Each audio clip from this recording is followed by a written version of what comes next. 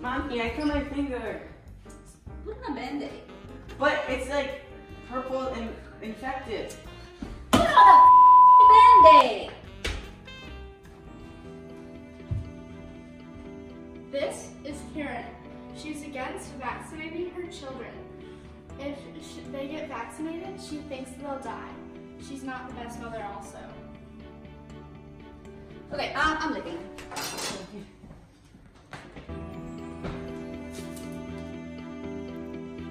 You support this? What kind of a mother is Karen?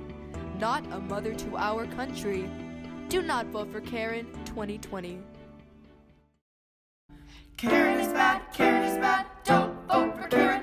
Do not vote for Karen. She is an anti vax mom. This message is brought to you by today's Americans for Tomorrow's World.